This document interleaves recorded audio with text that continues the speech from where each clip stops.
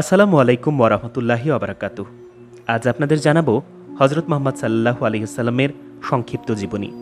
তাহলে চলুন শুরু করা যাক রিয়েল ফ্যাক্ট চ্যানেলের আরেকটি নতুন ভিডিও প্রাক ইসলামী যুগে যখন চরম উশৃঙ্খলতা, পাপাচার, দুরাচার, ব্যভিচার, মিথ্যা, হত্যা, লুণ্ঠন, মদ্যপান, জুয়ায় ভরপুর ছিল, অন্যায়, অপরাধ, দ্বন্দ্ব, সংঘাত, সন্ত্রাস, নৈরাজ্য নৈরাশ্য আর হাহাকার বিরাজ করছিল ঠিক এমন সময়ে মানবতার মুক্তির দিশারি, সর্বশ্রেষ্ঠ মহামানব ও সর্বশেষ নবী হজরত মোহাম্মদ সাল্লাহু আলিয়াল্লাম সারা জাহানের হৃদায়তের জন্য আবির্ভূত হলেন।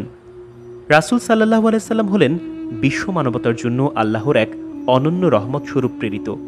মহান বিশ্ব পরিচালক ঘোষণা করেছেন, আমি তোমাকে প্রেরণ করেছি বিশ্ব জগতের জন্য বিশেষ রহমত স্বরূপ হজরত মোহাম্মদ সাল্লাহু আলহিউসাল্লাম বর্তমান সৌদি আরবে অবস্থিত মক্কানগরের কুরাইশ গোত্রের বনি হাসিম বংশে জন্মগ্রহণ করেন।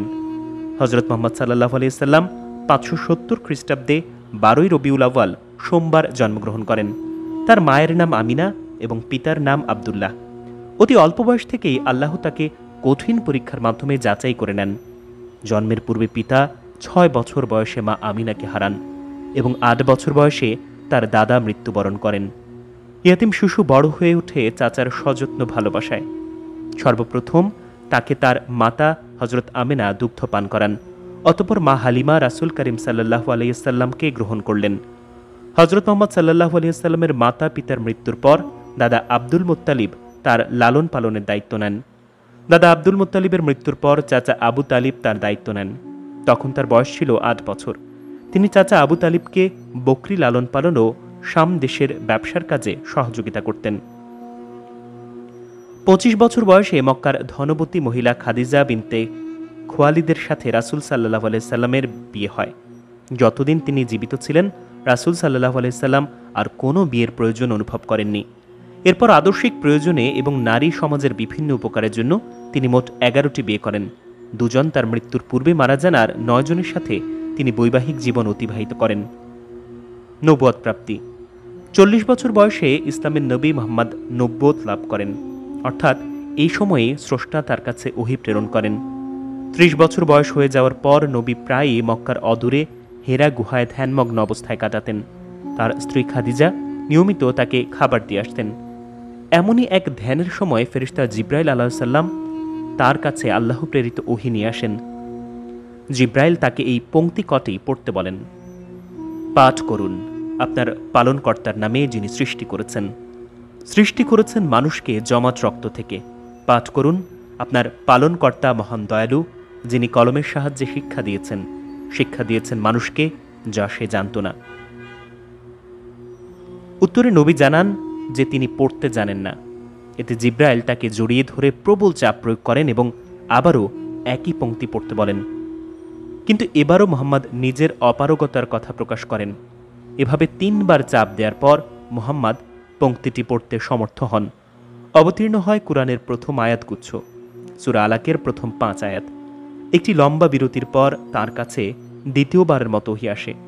এবার অবতীর্ণ হয় সুরা মুদাসিরের কয়েকটি আয়াত। এরপর থেকে গোপন ইসলাম প্রচারে আত্মনিয়োগ করেন মোহাম্মদ। এই ইসলাম ছিল জীবনকে সম্পূর্ণ বদলে দেওয়ার জন্য প্রেরিত একটি আদর্শ ব্যবস্থা। তাই এর প্রতিষ্ঠার পথ ছিল খুবই বন্ধুর।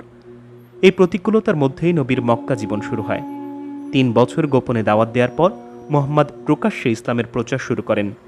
নবী সাল্লাহ আলাইসাল্লাম সাফা পর্বতের ওপর দাঁড়িয়ে চিৎকার করে সকলকে সমবেত করেন। এরপর প্রকাশ্যে বলেন যে, আল্লাহ ছাড়া কোনো প্রভু নেই এবং মোহাম্মদ আল্লাহর রাসুল। এই সময় থেকে ইসলামের বিরুদ্ধে ষড়যন্ত্র শুরু হয়। মিরাজ তথা ঊর্ধ্বারোহণ।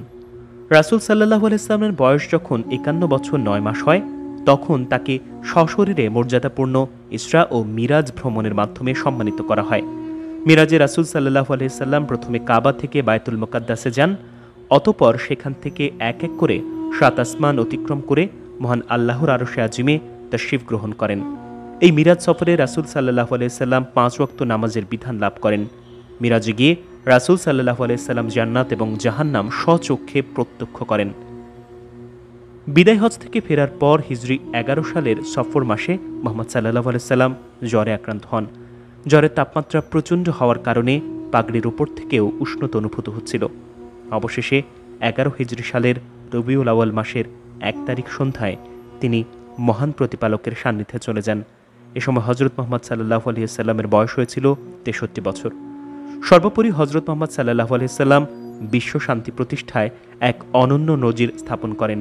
সর্বক্ষেত্রে তিনি ছিলেন সফল ব্যক্তিত্ব। সামান্য ভিডিওতে রাসুল সাল্লাহ সাল্লামের জীবনী শেষ করা সম্ভব নয়। এই ভিডিও যদি কোনো পার্ট চান, তাহলে কমেন্ট করে জানাতে পারেন।